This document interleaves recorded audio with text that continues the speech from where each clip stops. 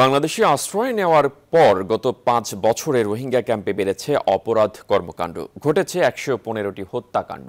সন্ধ্যা নামতেই আতঙ্ক ভর করে স্থানীয়দের মাঝে। আর্মড পুলিশ ব্যাটালিয়ন বলছে, অপহরণ, মাদক ব্যবসা, চাঁদাবাজি ও আধিপত্য বিস্তারকে কেন্দ্র করে সশস্ত্র সন্ত্রাসীরা অপরাধ ঘটাচ্ছে। আইনশৃঙ্খলা বাহিনীর সমন্বিত চেষ্টার মাধ্যমে নিয়ন্ত্রণে রাখতে হবে অপরাধ, বলছেন বিশ্লেষকরা। আইবুল ইসলামকে সঙ্গে নিয়ে রিপোর্ট করেছেন শেখ জায়েদ। রোহিঙ্গা ক্যাম্প। গণহত্যা, ধর্ষণ ও অত্যাচার নির্যাতনের শিকার হয়ে বাংলাদেশে আশ্রয় নেওয়া মানুষদের বসবাস এখানে। আশ্রয়প্রার্থী মানুষদের জন্য নিজেদের জমি পর্যন্ত ছেড়ে দেন বাংলাদেশের স্থানীয়রা। মাস, বছর পার হয়ে এখন পাঁচ বছর ধরেই এখানে অবস্থান তাদের। ধীরে ধীরে নানা অপরাধ ঘটাতে থাকে রোহিঙ্গারা। নিজেদের মধ্যে সংঘাতেও প্রাণ হারিয়েছে অনেকে। এছাড়া তাদের অপরাধে ভুক্তভোগী স্থানীয়রাও। প্রত্যাবাসন প্রক্রিয়া যত দেরি হচ্ছে, রোহিঙ্গারা তত বেপরোয়া হয়ে উঠছে এমনকি তারা ক্যাম্পের বাইরে এসেও নানা অপরাধে জড়াচ্ছে।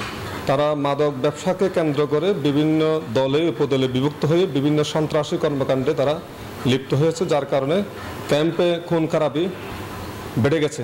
আমরা যারা স্থানে রয়েছি তারা সবসময় আতঙ্ক রয়েছি। আমাদের একটি দাবি রয়েছে স্থানীয়দের পক্ষ থেকে দ্রুত রোহিঙ্গাদের প্রত্যাবাসন করা দরকার।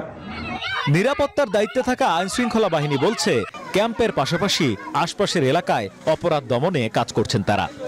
আমাদের জন্য খুব চ্যালেঞ্জিং একটি কাজ।